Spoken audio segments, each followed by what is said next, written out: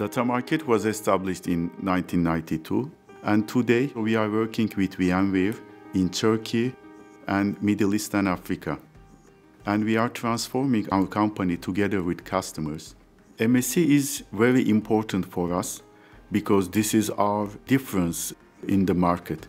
We have four MSC. We are fastly moving to do service part, implementation, Kubernetes, DevOps, and this uh, important uh, architecture of the cloud. MSC help us to become a trusted advisor of the customer because now we are with MSC, we are talking the same language with our customers. We are the number, uh, only one company in Istanbul based and we have full competency.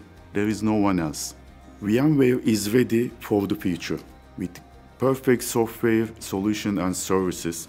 And for me, future is only two words, artificial intelligence and cloud. And what I see, VMware is ready for next 20 years for these two subjects.